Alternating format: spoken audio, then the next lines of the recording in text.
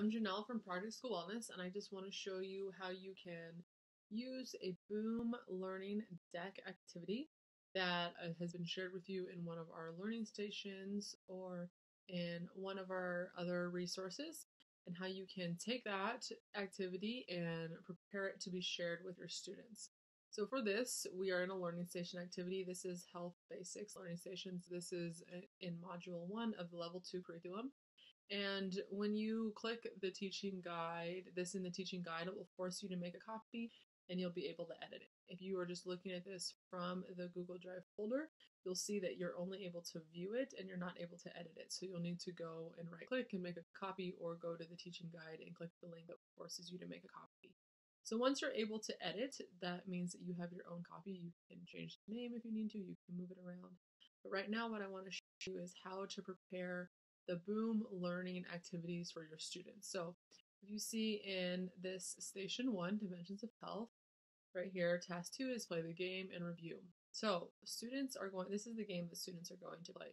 Now, I'm not able to just give you a link for students to play this. Instead, you need to add this game to your own Boom Learning account and then you can share it with your students. So what's going to happen is you are going to copy this right here, then you are, I logged in here, so let's, that should have us all set up.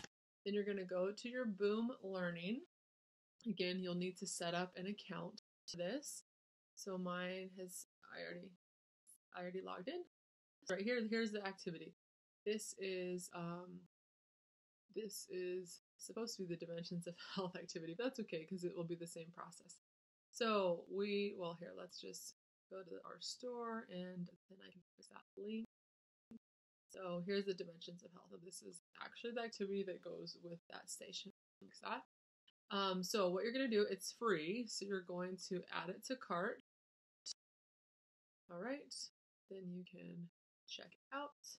Check out. It's zero points. Okay, you're buying one thing for zero points. A complete purchase. So now we have this. So we're going to go to our live and now you have a couple of options here. So um, you can assign this if you have a class set up, or you can give kids a hyperlink for this. They will need to have a login for Boom cards, but if students don't have a login and you're not wanting to collect answers or responses, you're going to click FastPin, generate new FastPin, and now you are going to copy. You can copy this. And then we're going to add it back in the learning station activity. But you just need to note that this is only live for seven days. So after seven days, if students are still, if say you do this activity with another group of students, or you're doing it next year, whatever you're going to go, you need to go and change and add a new link for this. Unless students have a login, then you can just um, create, leave a login that they are going to, or sorry, leave a link that would require them to log in. But this is so that they can play without needing to log in or make an account. So we're going to go here, back to the learning stage and station, and then what you're going to do is you're going to delete this. All right. And then you're going to add this. So now let's just see what this looks like. So you would you can change all that up there when once you all set up. So let's say name is Janelle. Here you would change this to whatever your grades and sections are. And then here's the first activity. So first I would watch this video about what the dimensions of health are, and then I would click and play. So now students, when they're seeing this, they would go here and they would then get to play the activity. So the game. So this is all about dimensions of health. Play through it. Okay, this is a drop, so understanding feelings. All right, this so the do, and this self-correcting. So yay, move on, and then there's a couple of different activities that students would go through and play. Again, because you use that FastPin, students would not actually need to log in.